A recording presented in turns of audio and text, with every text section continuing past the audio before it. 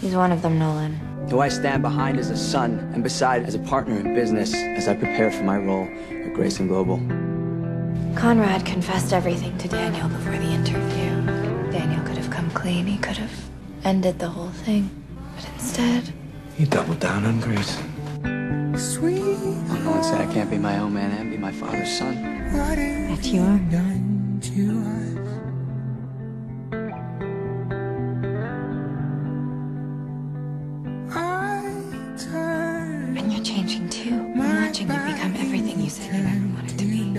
What's that? You're crazy.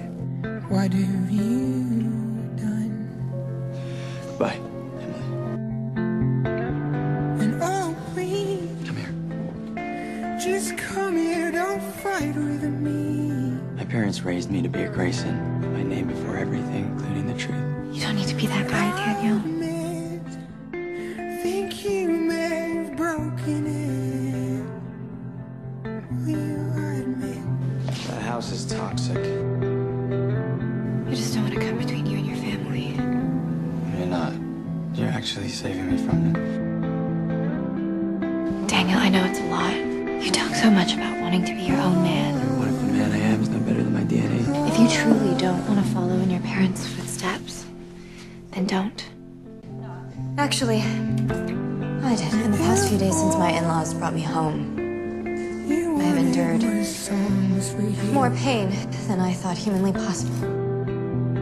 I found out I can't have children, and I want to set the record straight. After all There's been much speculation as to who shot me. Daniel shot me.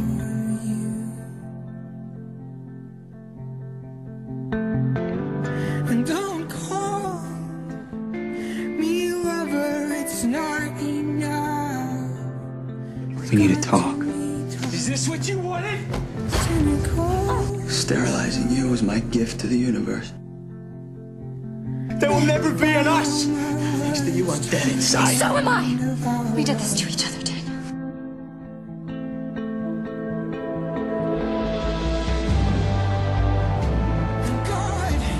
I just hope it's not too late to say yes. to be. Paris? To us.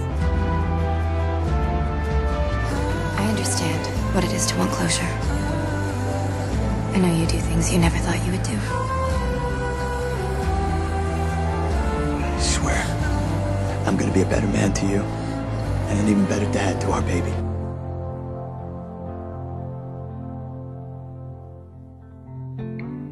Sweetheart, What do you wanna chat about? The weather?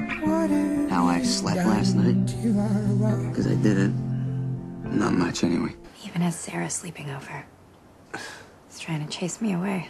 Your husband's kind of a hole.